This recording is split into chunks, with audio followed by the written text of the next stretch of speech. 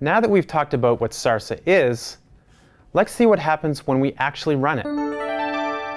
By the end of this video, you will understand how the SARSA control algorithm operates in an example MDP. You will also gain experience analyzing the performance of a learning algorithm.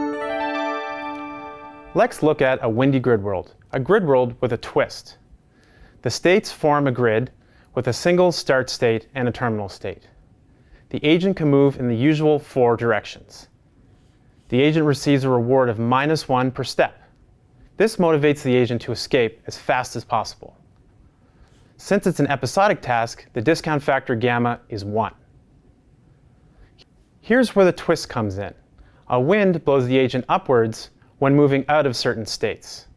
The wind strength in each state depends on the column. For example, if the agent is in a column with wind strength 1 and takes the action left, it will move left and then up one cell. Moving into a boundary does nothing. Let's apply SARSA to this task. We will use epsilon greedy action selection. In this example, we'll use an epsilon of 0.1, alpha of 0.5, and initialize the values to 0.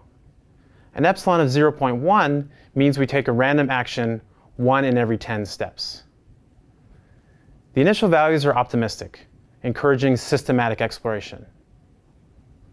This plot shows the total number of episodes completed after each time step. The results are averaged over 100 runs. Notice that the first few episodes take a couple thousand steps to complete. The curve gradually gets steeper, indicating that episodes are completed more quickly. Around 7,000 steps, the greedy policy stops improving. Notice the episode completion rate stops increasing. This means the agent's policy hovers around the optimal policy and won't be exactly optimal because of exploration. Notice that Monte Carlo methods would not be a great fit here. This is because many policies do not lead to termination. Monte Carlo methods only learn when an episode terminates. So a deterministic policy might get trapped and never learn a good policy in this grid world. For example, if the policy took the left action in the start state, it would never terminate.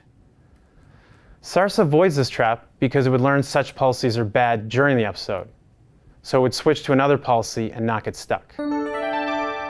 In this video, we showed an example of the SARSA control algorithm in an MDP. We also analyzed SARSA's performance to better understand its learning process.